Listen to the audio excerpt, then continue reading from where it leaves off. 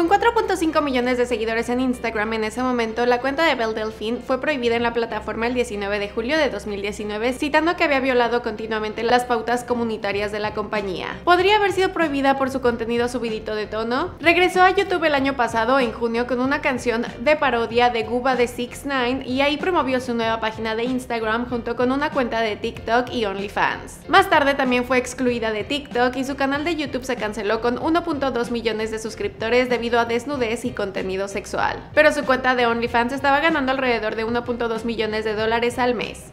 Sí, al mes. Su canal de YouTube sería restablecido y su cuenta de OnlyFans de 35 dólares al mes continúa creciendo. Más después de haberle dado una muy feliz Navidad a sus fans con el contenido que sacó justamente ese día en su cuenta de OnlyFans. En medio de todo esto, ella desapareció y los rumores comenzaron a salir. Hubo uno sobre su muerte y luego un presunto arresto con una foto policial que coincidía y aparentemente todo se trataba sobre su hámster. Pero ¿cómo empezó a hacer dinero? Bueno, de todo eso y más es de lo que vamos a hablar en este video de la lujosa vida de Belle ¿Qué onda? Mi nombre es Ailed y en este video hablaremos de cómo es que esta mujer ha hecho su fortuna que siento que no están estimando bien en algunas fuentes en línea que consulté. Porque en estos momentos es una de las creadoras, si no es que la creadora que más dinero genera en OnlyFans. Espero que el video les guste, si es así ya saben que me lo hacen saber dándole amor al video. Síganos en nuestras redes sociales y díganme en la parte de los comentarios de quién más quieren que hable en los próximos videos. Bueno, ahora sí, empecemos y conozcamos la lujosa vida de Belle Delphine.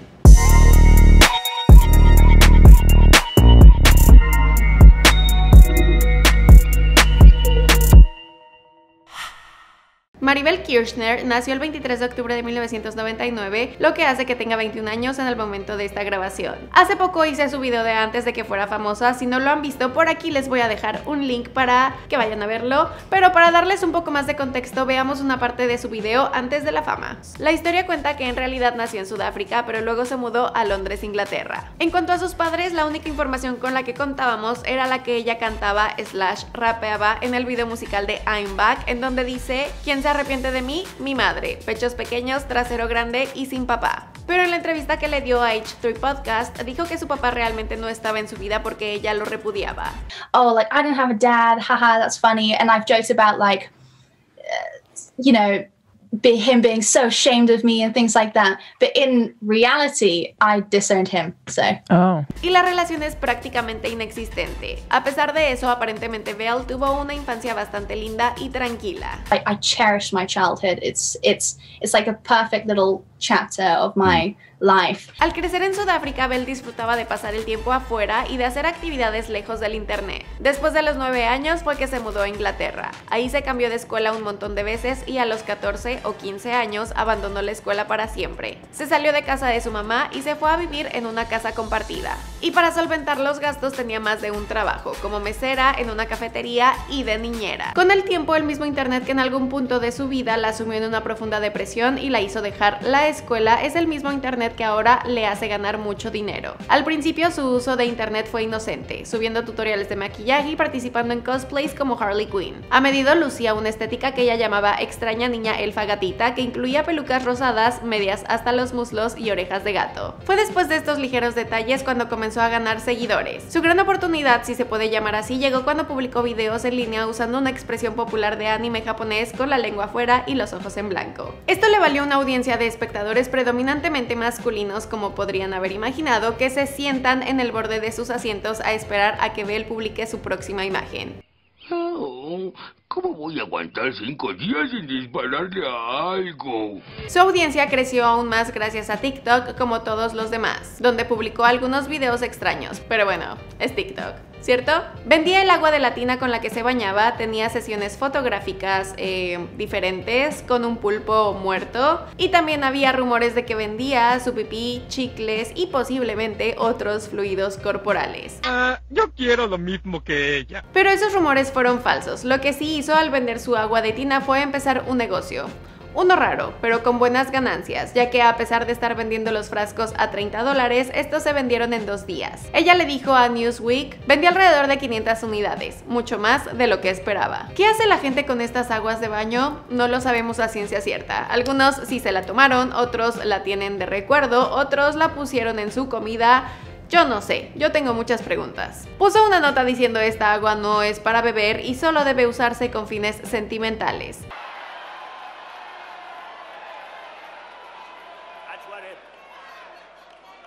También subastó una pintura de su trasero y los calzones que llevaba puestos en la foto al mejor postor en su página de OnlyFans y alguien pagó 15 mil dólares por ella. Un precio razonable. Antes de OnlyFans, Belle obtenía la mayor parte de sus ingresos en sitios de financiación colectiva como Patreon, donde los fanáticos pagan una tarifa mensual para interactuar con ella directamente y recibir beneficios como fotografías o mensajes directos. Y aunque actualmente no sé si todavía haya gente suscribiéndose en su cuenta de Patreon porque OnlyFans está más de moda, permítanme desglosar lo que obtienen cuando se suscriben a la cuenta de Patreon de Belle y los paquetes que existen. Pueden suscribirse por un dólar al mes, 5.25 50, 100, 1000 y 2500. En los primeros 5 paquetes te dan cosas como acceso a su feed, actualizaciones de Patreon, selfies lindas y a veces extrañas, detrás de cámaras de sus sesiones de fotos, las cuales van subiendo de tono y van cambiando de locación mientras más dinero paguen, acceso a su Snapchat personal y mucha buena vibra por parte de Bell. Pero por mil dólares al mes obtienen acceso a su Snapchat privado y les envía, y cito, una Polaroid muy sexy firmada y sellada con un beso. Ese paquete se llama Rey de mi mundo, pero ¿quién quiere ser rey cuando puedes ser su dios? ¿Cómo se llama este paquete que cuesta 2.500 dólares y ella escribió? Eres mi dios, no podría nunca agradecerte lo suficiente. No podría pensar en una recompensa lo suficientemente buena para el mejor Patreon que jamás tendré. Si alcanzas este nivel, por favor envíame un mensaje privado. No estoy segura de qué recompensa podría darte, pero hablaremos de ello. Te amo. En este momento dice que tiene 871 patrocinadores, pero no sé qué nivel o paquete compraron. Aún así, más de uno de esos patrocinadores pagaron la cantidad máxima e hicieron videos hablando de eso. ¿Y qué fue lo que recibió a cambio del paquete Dios? Bueno, más adelante les cuento un poquito más acerca de eso. Bel Delfín actualmente tiene más de 600 mil seguidores en su nueva cuenta de Instagram y según los informes en línea vale alrededor de 500 mil dólares. Pero ese número me parece un poco bajo después de ver cómo es que esta mujer vendió hasta agotarse su agua de tina. Además, supongo que lo que gana con Patreon es poco en comparación con su OnlyFans, y probablemente sea la que más dinero gana en todo el sitio, en donde por cierto su retiro más grande fue de 2 millones de dólares.